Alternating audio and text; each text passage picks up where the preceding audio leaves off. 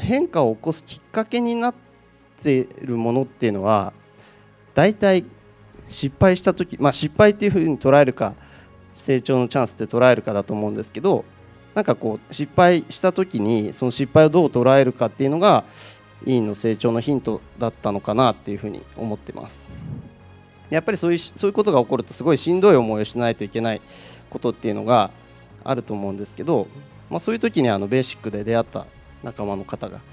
いるとすごくこう乗り越えるこう勇気をもらえたなと思っております。うんですね、でなので、まあ、いつもなんかやばいなって思いながら生活してるんですけど、まあ後から振り返るとなんか乗り越えることができなんとか乗り越えてこれたかなっていうふうに思ってます。うん、でその自分なりにちょっとこう振り返ってもしかしたら成長してるかもってちょっと思えたのが、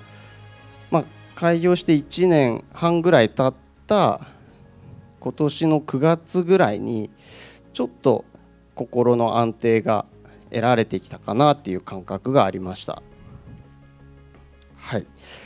えー、次、えー、これまで経営塾に参加してきたことで得られた成果ということなんですけども、まあ、ちょっとこれはあの分かりやすく数値の方をお伝えさせていただきたいんですけども、えっと、開業当初うちの院はユニットが3台でスタッフが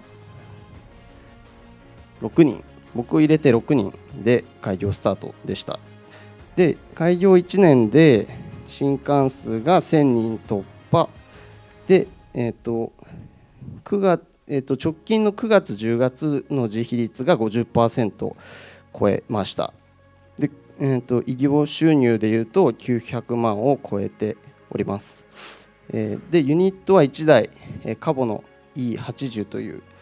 えー、ユニット1台増設してあとマイクロスコープもあの導入することができました、えっと、カール・ツァイスですね。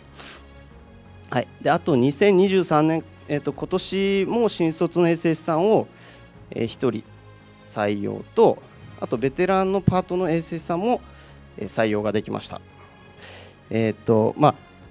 そうですね、まあ、私本当にまだなんだろうすごい先生が本当にたくさんいる中でこんなところでお話しさせていただくの本当になんか恐縮なんですけどもあの、まあ、開業してから今日までさまざまなことがありましたであのまあベーシックコースに参加して成果を出すポイントをもう一言一言でまとめるとまず一つは出会いと行動することが全てだと思っています。でこの出会いがあるっていうのも結局皆さんがこうベーシックコースに参加するっていう行動を起こした結果だと思っているのであの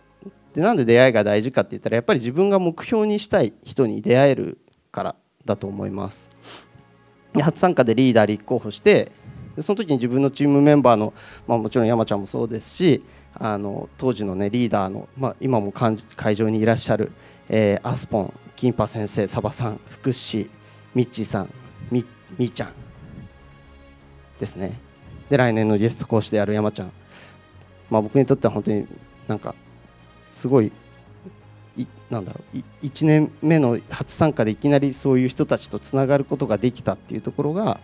すごく大きかったしで今年のあのワンチーム2023の本当に素晴らしいメンバーと出会うことが、えー、できたっていうところがもう自分の成功の一番のなんていうかこうポイントだったんじゃないかなっていうふうに思っております。はいまあ、あの本当にやらなきゃって思っててもなかなかできてないことって多いと思うのでその最初の一歩を踏み出す時ってしんどいと思うんですけどそのベーシックはその一歩を後押ししてくれたなっていうふうに本当に思っております。はいえー、以上で、えー、シェアを終わらせていただきます。皆さん本当に1年間お疲れ様でした。